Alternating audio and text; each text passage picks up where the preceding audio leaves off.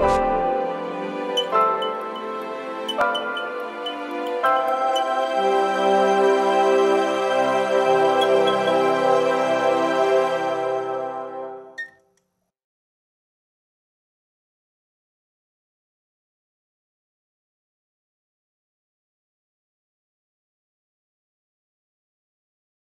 A tribute to Oscar Isaac, chronicling the career of Hollywood's best leading man by Daniel Choi. From Robin Hood and Drive to Inside Llewyn Davis and Ex Machina to Star Wars, Dune, and Moon Knight, here's a look at the rise of the number one leading man.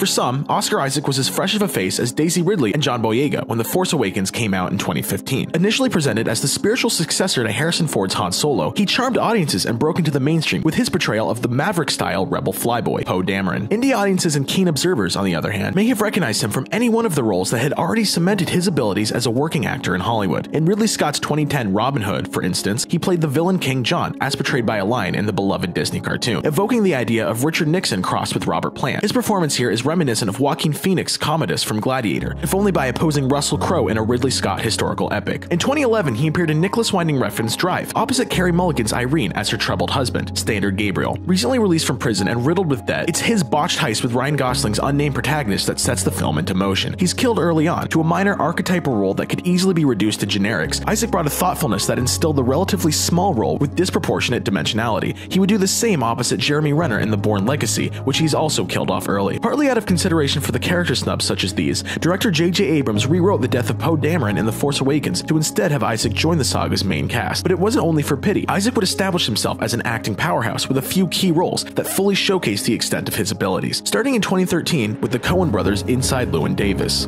Breakthrough roles Inside Llewyn Davis, A Most Violent Year, Ex Machina.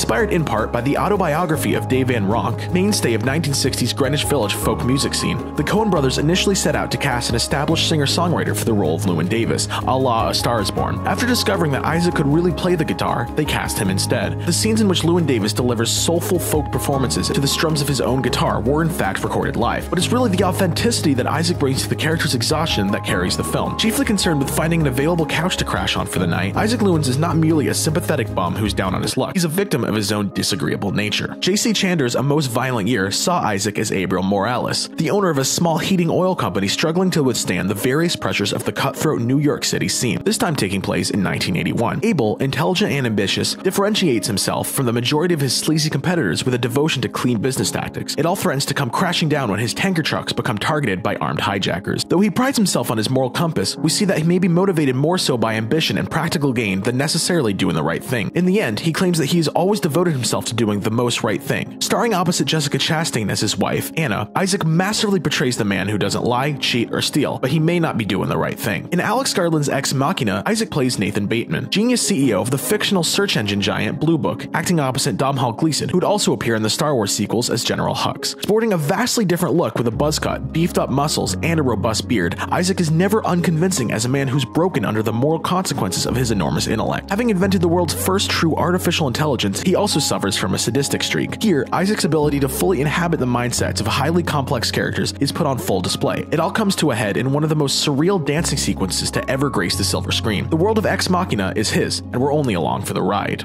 Future roles Dune, Marvel's Moon Knight. There's something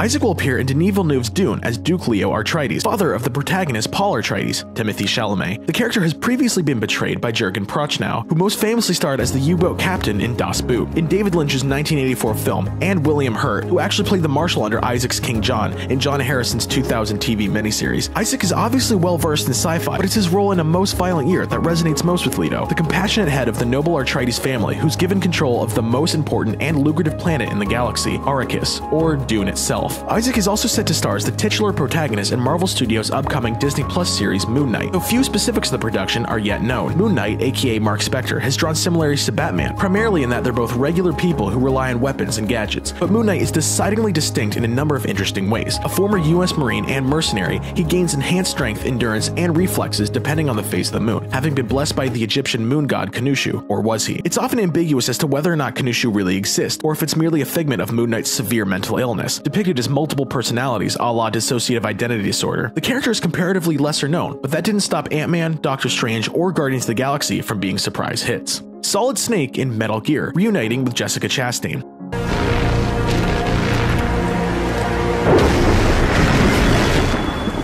Kept you waiting, huh?